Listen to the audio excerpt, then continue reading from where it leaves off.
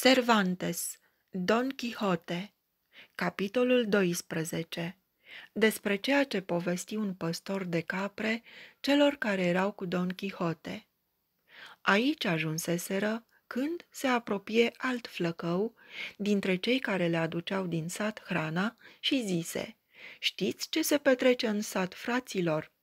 De unde să știm?" răspunse unul dintre ei.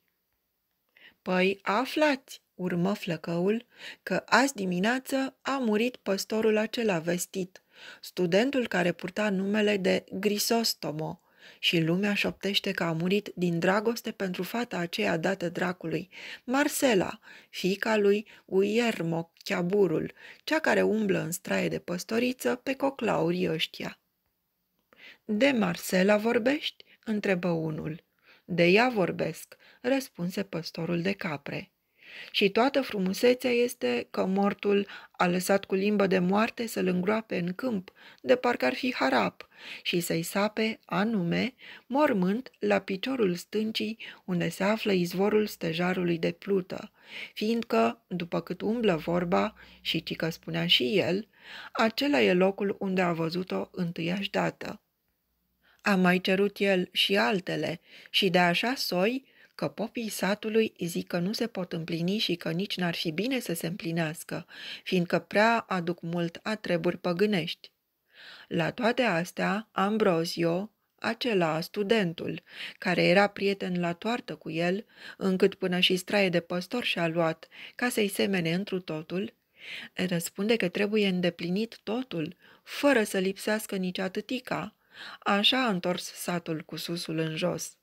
Dar, după câte auzi eu, până la urma urmei au să facă tot pe placul lui Ambrozio și a celorlalți păstori, prietenii lui.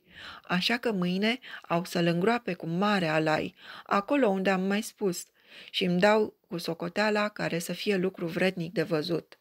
Eu, cel puțin, fie ce-o fi, mă duc să văd, dar știi că nu mă mai întorc mâine viu de acolo.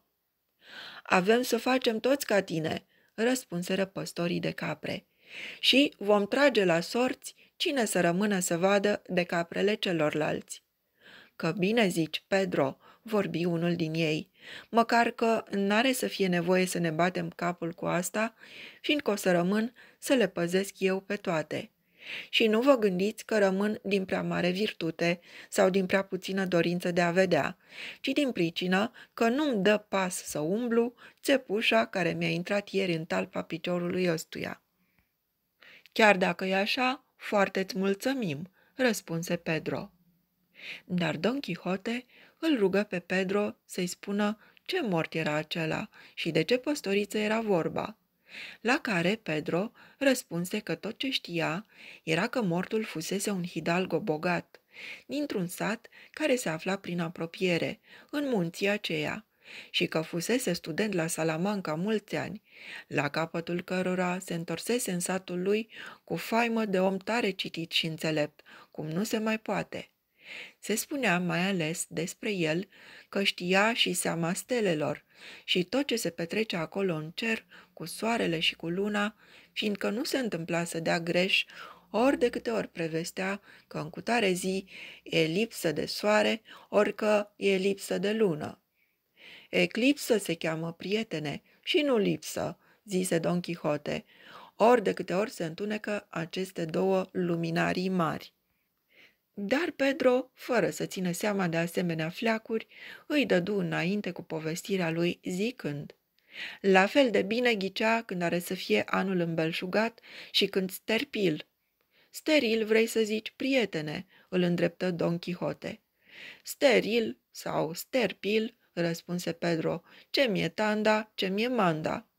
Și cum povesteam, cu câte le tot spunea, se îmbogățiră tătânesul și ortacii lui, care se uitau în gura băiatului, fiindcă făceau tot ce îi sfătuia el, de câte ori le zicea, semănați anul ăsta o văz, nu grâu. În ăstălalt puteți semăna bob și nu o văz. Îl devine are să fie belșug de măsline, dar alte trei veri, de după el, n-ai să culegi măcar una de leac. Știința asta se cheamă astrologie, răspunse Don Quixote. Habar n-am cum i-o fi zicând, îi întoarse Pedro vorba, dar știu că pe toate le știa, bancă și mai multe. Ce mai lungă vorbă, n-au trecut nici câteva luni de zile de când se întorsese de la Salamanca, când, într-o bună dimineață, ne pomenirăm cu el îmbrăcat ciobănește. Cu cojoc și cu bâtă, că și le pădase sutanele lungi în care umblase ca scolar, și odată cu el îmbrăcă, tot așa ca ciobanii, și un altul, bun prieten de-al lui, pe nume Ambrozio, care îi fusese tovarăș la învățătură.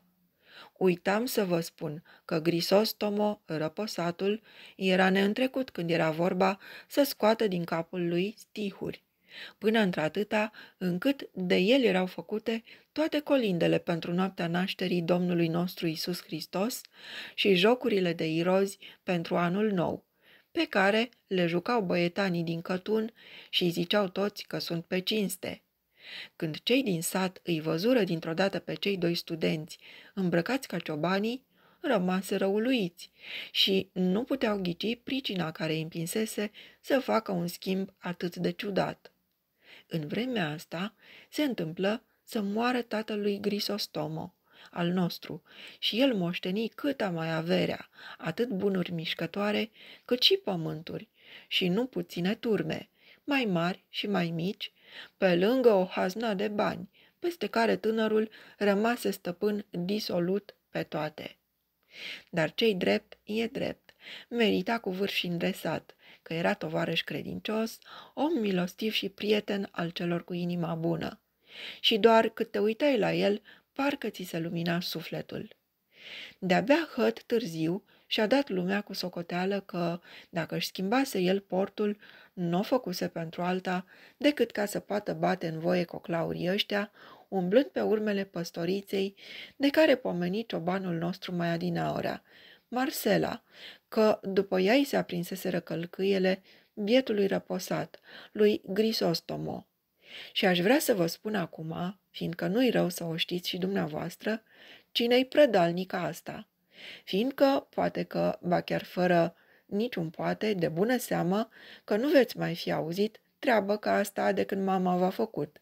Chiar de-ți fi trăit ani mai mulți decât mătușa Lene. Matusalem, vrei poate să zici, îi întoarse Don Quixote vorba, căci nu putea răbdea, răbda chipul în care stâlcea păstorul de capre cuvintele. Las că și Lenea trăiește destul. Notă.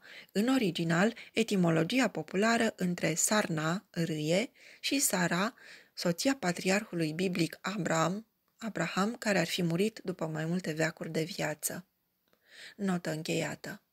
Răspunse Pedro, iar dacă e vorba să-mi tot întoarceți cuvintele și pe o parte și pe alta, la fiecare pas, nu-i dăm de capăt poveștii stăpâne nici într-un an încheiat. Iartă-mă, prietene, îi zise Don Quixote, că nu ți-am spus-o decât pentru că găseam prea mare distanța de la mătușa Lene la Matusalem. Dar mi-ai răspuns cum nu se poate mai cu cap, fiindcă Lena trăiește mai mult chiar și decât Matusalem. Așa că urmează-ți povestirea, fiindcă eu mă leg să nu-ți mai tai vorba niciodată. Și așa cum îți spuneam, stăpâne al meu drag, își urmă păstorul de capre vorba, era în satul nostru un plugar, încă și mai bogat decât tatălui Grisostomo, care se numea Guillermo și îl dăruise Dumnezeu peste multele și marile lui bogății cu o fată pe care, născând-o, născând-o muri maică sa, femeia cea mai vrednică de cinste din câte se aflau pe meleagurile acestea, că parcă și astăzi o văd aievea, cu un obrăjor pe care răsărea de o parte soarele și de alta luna. Iar pe deasupra mai era și mare făcătoare de bine și prietenă a celor sărmani, fapt pentru care cred că e sufletul în vecii vecilor la loc de verdeață, bucurându-se de vederea lui Dumnezeu Sfântul pe ceea lume. De necazul morții unei așa de vrednice neveste, muri și bărbatul său, Guillermo, lăsându-și-o pe fică sa, Marcela, copilă și putre de bogată, în puterea unui unchi de-al ei, preot și dregător bisericesc, din satul nostru, Și crescu fata atât de frumoasă, încât la toți ne, vedea, ne venea în minte frumusețea maicăsii, care, la vremea ei, fusese cosânzeană, nu alta. Și, cu toate astea, lumea bănuia că avea să o întreacă fiică sa, lucru care s-a și întâmplat, fiindcă de îndată ce ajunse la vârsta de 14-15 ani, nu se mai uita nimeni la dânsa fără să dea slavă lui Dumnezeu care o crescuse ca pe o floare de frumoasă. Și n-au fost puțini cei care i-a pălit, pe care i-a pălit dragostea și și-au pierdut capul de dragul ei. O păzea moșul său ca pe iarba de leac și o ținea sub șapte lacăte. Cu toate acestea, vestea marii ei frumuseți se lăți în așa chip că mai pentru ea, mai pentru averea ei cea mare, nu numai din partea lor noștri din sat, ci, ci, ci și dinspre partea altora, de la depărtare de multe leghe, jur împrejur și chiar dinspre partea celor mai buni dintre aceștia, se vedea unchiul ei stânjenit cu rugăminți și cu cereri să le dea de nevastă. Dar el, cum se și cuvine, e bun creștin cu toate că i-ar fi plăcut să o mărite repede, de vreme ce o vedea că i-a venit vremea, nu se înduplecă să o facă mai înainte de a-și da și ea consimțământul.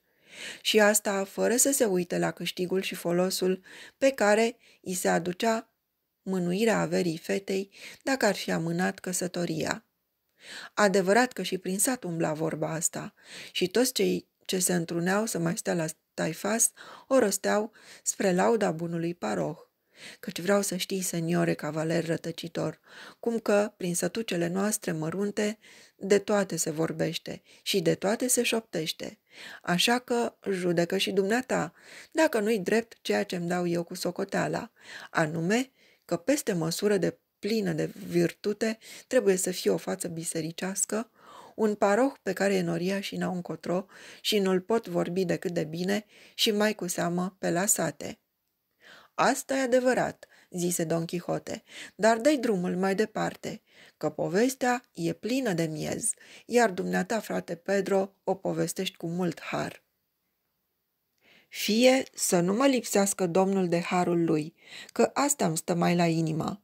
Iar cât despre celelalte, aflați că, oricât s-a trudit unchiul tot aducându-i nepoatei la pețitori și tot lăudându-i însușirile fiecăruia dintre toți cei ce o cereau de nevastă, ba chiar rugând-o să se mărite și să-și aleagă mire după gustul ei, nici când n-a primit din partea fetei alt răspuns decât că, deocamdată, n-avea chef de măritiș și că, așa de fragedă copilă cum era, nu se simțea în stare să ducă pe umerii ei sarcina căsniciei.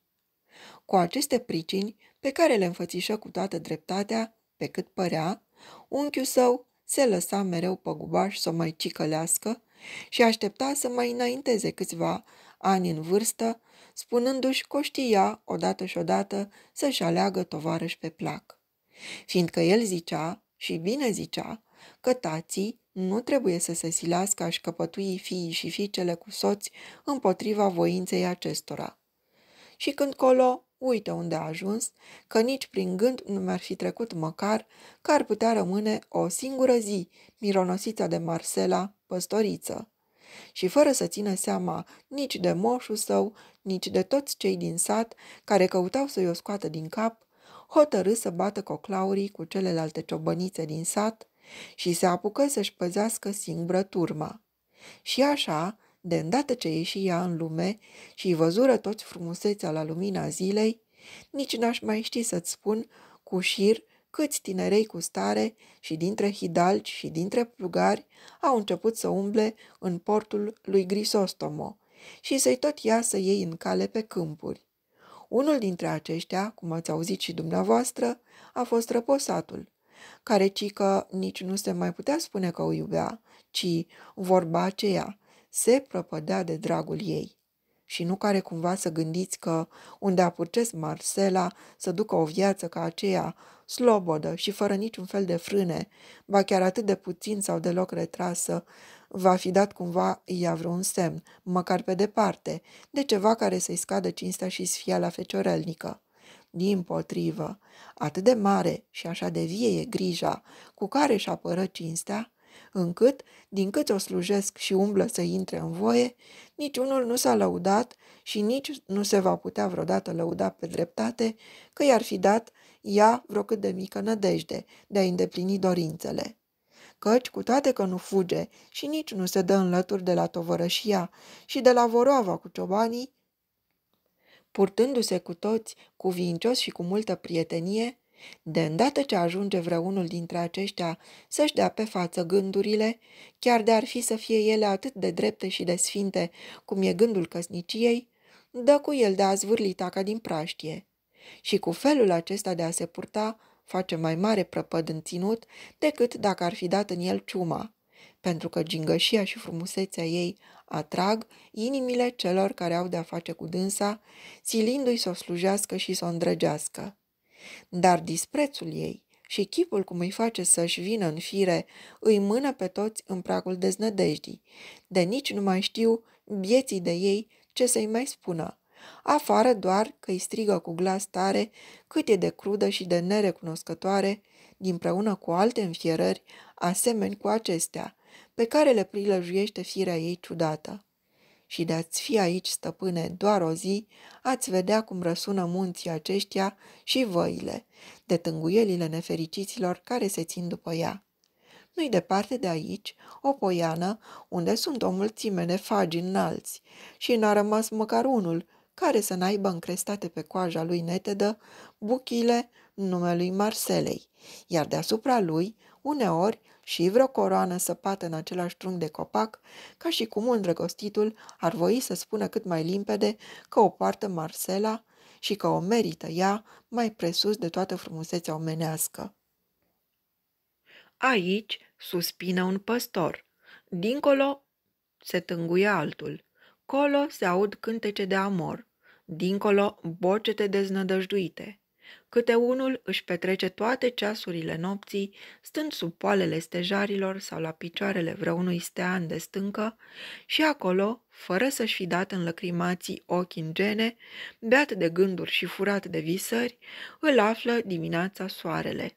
Și mai vine câte unul care, fără să contenească a suspina și fără să-și zăgăzuiască oftările, în miezul arșiței celei mai toropitoare, după amiez de vară, întins pe nisipul fierbinte, își azvârle hohotele de plâns către milostivul cer nepăsându-i măcar atâtica, nici de unul, nici de altul, nici de ceilalți, nici de ceștilalți, liberă și fără nicio bătaie de cap, adună izbândă după izbândă frumoasa Marcela, și toți cei care o cunoaștem stăm cu sufletul la gură, așteptând să vedem unde are o, să o ducă trufia și cine are să fie fericitul care va izbuti să vină de hac unei firi atât de iabrașe și să aibă parte de o atât de aleasă frumusețe.